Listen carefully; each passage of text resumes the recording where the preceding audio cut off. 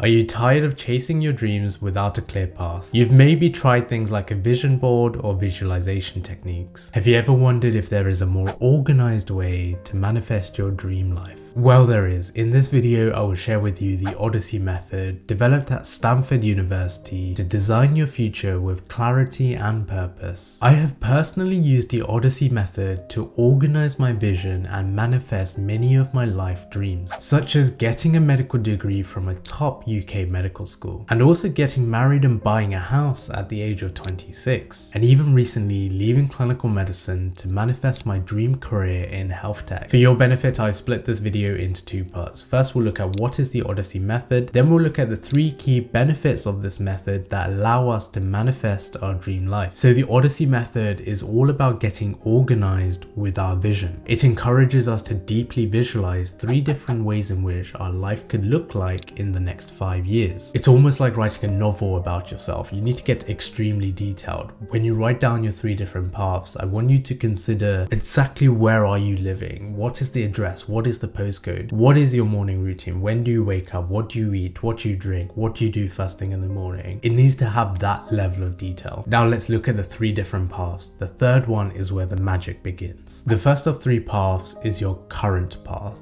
This is the as is scenario. If nothing changed and you continued on your current trajectory in life, how would things look like next year, the year after, all the way up to five years. You kept your current job, maybe you got one promotion. You kept your current relationships, you kept your current housing situation. What would your life look like on your current trajectory in five years? The second of three paths is the alternative path. This is where you try something new. Maybe you quit your current job, you go into a different career, maybe you get into new relationships, Maybe you change where you live. You're not doing anything drastically different. These are all currently attainable things. These are things that you could afford to do right now, but you're choosing not to. However, if you chose to do them, how could your life look like this year, next year, the year after, all the way up to five years? The third and final path is the dream path. This is where the magic happens. If there were no restrictions, such as time, money, and your resources, then what would you do for a living? Where would you live?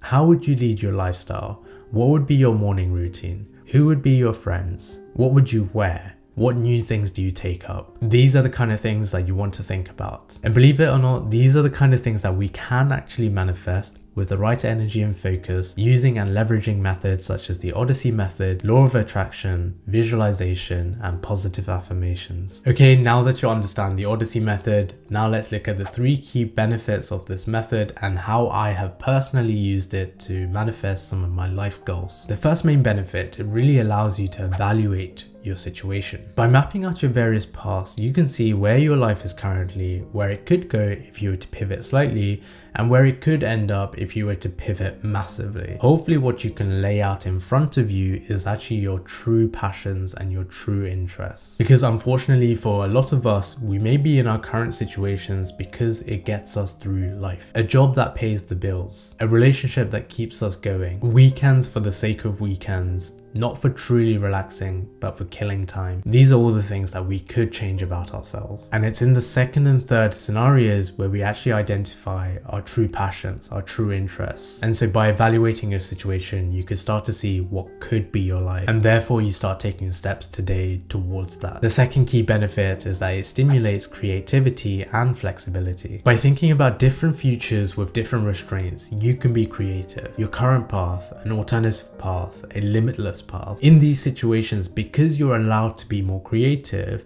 you solve your own problems. Let me give you an example.